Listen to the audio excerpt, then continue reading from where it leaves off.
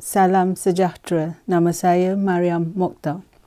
Pagi semalam, seorang pemimpin PAS iaitu Ketua Subang PAS, Zaharuddin Muhammad, menggesa pengampunan diraja diberi kepada banduan Najib Abdul Razak. Zaharuddin yang juga menantu Presiden PAS iaitu Hadi Awang kata yang perbicaraan Najib tidak berlaku mengikut garis panduan Islam.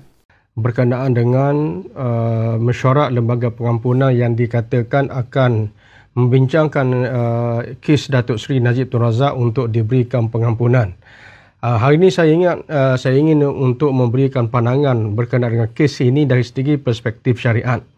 Iaitu secara umumnya dari segi perspektif syariat kes Datuk Seri Najib Tun Razak ini bagi saya tidak valid uh, atas beberapa sebab. Antaranya ialah kes ini dibicarakan oleh seorang hakim yang ada keraguan dalam dalam Islam iaitu hakim yang tidak dipersetujui oleh pihak yang terlibat iaitu Datuk Seri Najib Tun Razak sendiri. Dalam Islam hakim kes seperti Datuk Seri Najib Tun Razak dilantik dengan persetujuan uh, oleh pihak yang bertelagah iaitu pihak Pendakwa Raya dan juga pihak Datuk Seri Najib sendiri yang keduanya ialah hatta jikalau tidak ada uh, sebab yang munasabah sekalipun itu merupakan hak orang yang didakwa sebenarnya dalam Islam. Apatah lagi dalam kes ini uh, Datuk Seri Najib Tun Razak berulang kali membantah uh, Hakim Nazlan atas uh, isu konflik of interest. Uh, itu uh, sebab yang pertama.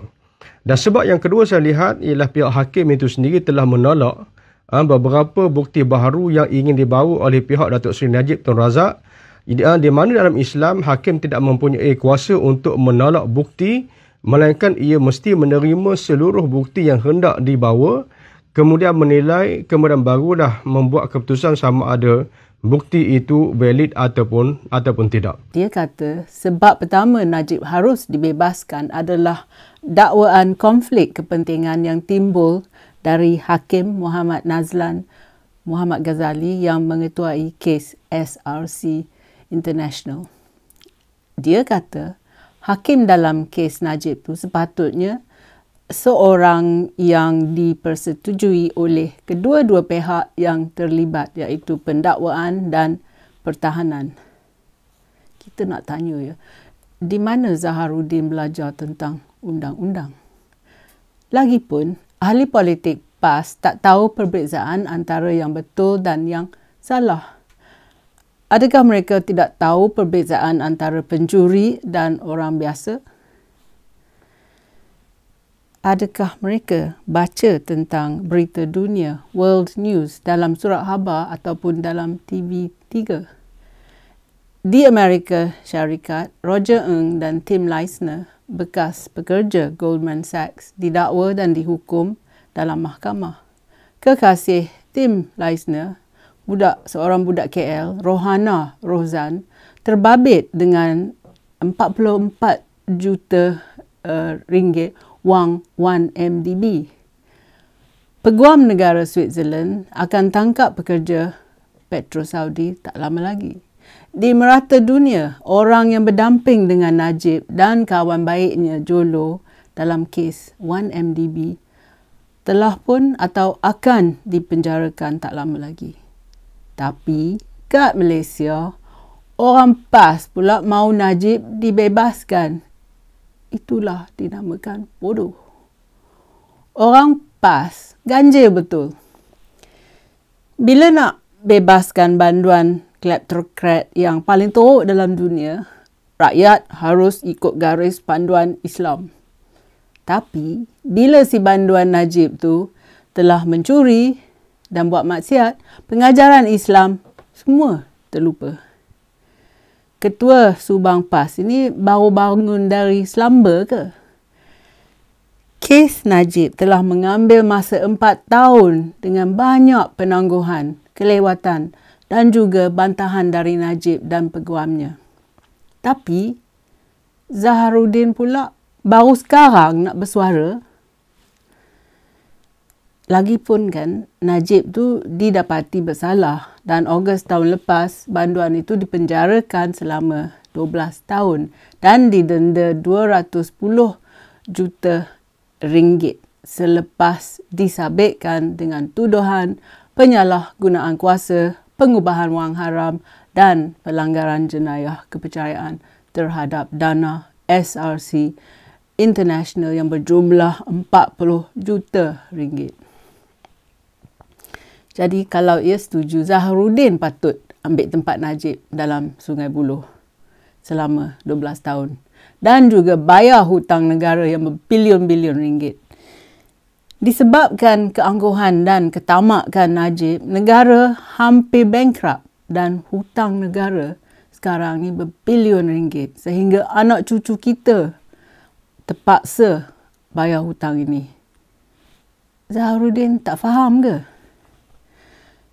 Zaharuddin sedar tak yang Najib belum lagi bayar dendanya dan juga income taxnya. Baru-baru ini, pada 31 hari bulan Mac, panel lima hakim Mahkamah Persekutuan dalam keputusan majoriti empat uh, empat orang uh, dan telah menolak permohonan Najib untuk mengkaji semula sabitannya. Semalam dilaporkan bahawa lembaga pengampunan tidak membincang permohonan yang difailkan oleh Najib padan mukanya. Ramai orang yang masih sokong si banduan Najib tu patut dididikkan semula dalam nilai teras, hal etika dan prinsip-prinsip Islam yang sebenar. Dalam video tu, Zaharuddin kata yang hakim telah menolak bukti baru yang dibangkitkan oleh pasukan Najib. Dia kata yang dalam undang-undang Islam, hakim tidak mempunyai kuasa untuk menolak bukti yang dibangkitkan oleh pihak-pihak yang bertanding.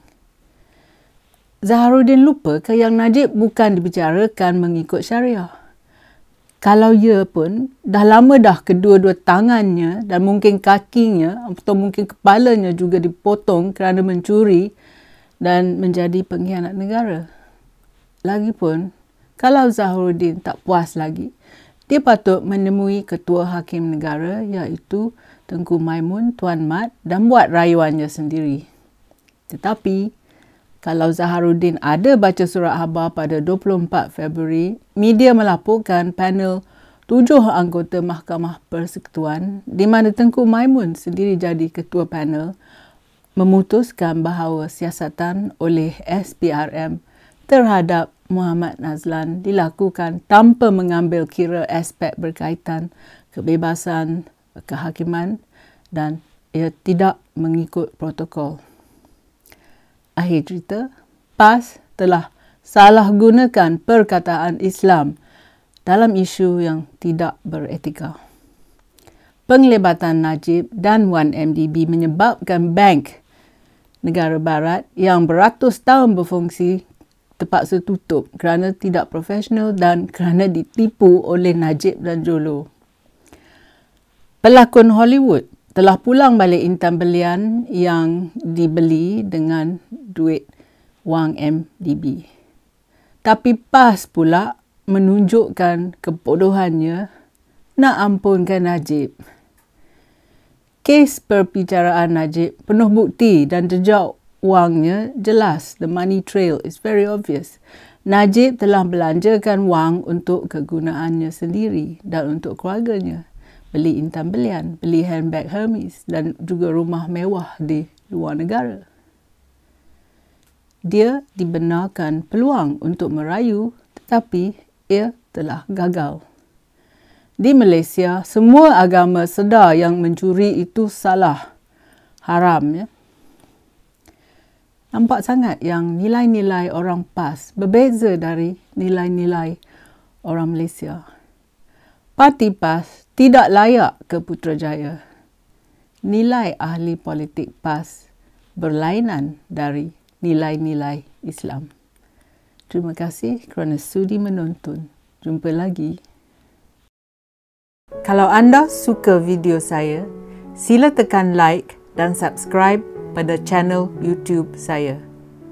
Pertimbangkan menyertai laman Patreon saya. Terima kasih.